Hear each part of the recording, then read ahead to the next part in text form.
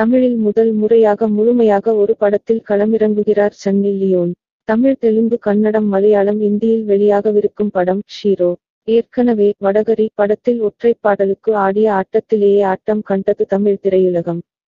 இப்போது நீண்ட இடைவெளிக்கு பிறகு சன்னி லியோன் ஷீரோ என்ற படத்தில் நடிக்கிறார். இவரோடு தம்பி ராமையா சதீஷ் உள்ளிட்டோரும் நடிக்கின்றனர்.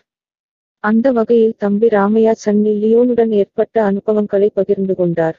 ஷீரோ படத்தில் சன்னி லியோனை அடைய நினைக்கும் ஒரு சைக்கோ கேரக்டரில் நடித்திருப்பதாகவும் தனது வசனங்களை ஸ்கிரிப்டுகளை தானே எழுதியதாகவும் கூறிய தம்பி ராமையா டூப் இல்லாமல் ஒரு ஸ்டண்டில் நடித்தாராம். அப்போதிலிருந்து சன்னி ராமையாவின் ரசிகராகிப் போனாராம். சன்னி லியோன் அவரின் பிள்ளைகளுடனே ஸ்பாட்டுக்கு வருவார் எனரும் அவரின் பிள்ளைகளும் தம்பி ராமையாவுடன் நெருக்கமாகிப் போனதாகவும் கூறினார். தம்பி ராமையாவுடன் பிள்ளைகள் விளையாடுவதற்காக அவரின் அறைக்கு அருகிலேயே தனது அறையை ஷிப் செய்து விட்டாராம் சன்னி. சிரித்த முகமும் வேடிக்கையான பேச்சும் சன்னிக்கு மிகவும் பிடித்துள்ளதாக தெரிவித்தார் தம்பி ராமையா.